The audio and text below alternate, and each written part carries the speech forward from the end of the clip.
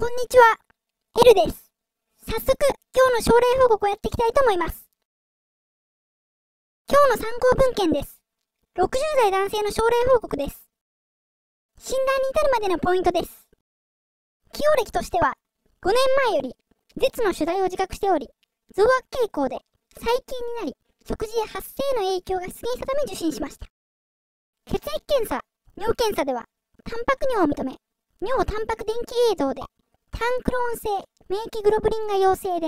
免疫固定法でラムダ型のベンス・ジョーンズタンパクが陽性、ユーリエルサ、カッパーラムダ比の偏りを認めました。絶生検では、異形性を伴わない可形成性の扁平上皮の所見で、コンゴレッド染色陽性の沈着物を認めました。骨髄検査では、形質細胞が20%で、コンゴレッド染色は陰性、フィッシュ法で H 差の遺伝子再構成があり、タンクロム性の増加の所見でした。以上より AL アミロイドーシスと診断された症例です。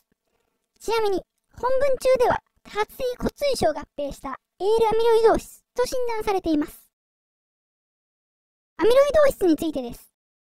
アミロイドーシスは異常凝集したタンパク質を由来とする不溶性繊維、アミロイドが組織に沈着することによって機能障害を引き起こす疾患です。原因タンパク質等に基づき多数の病気に分類されています。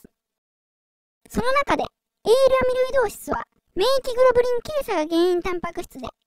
骨髄で形質細胞のクロム性の増殖を引き起こす多発性骨髄腫等を背景として発症します。心臓、腎臓、神経、肝臓、消化管、皮膚などに臓器障害を認め、特に拒絶はエールアミロイドーシスの10%程度にしか見られないものの、人足の診断に有用な所見です。本日は以上になります。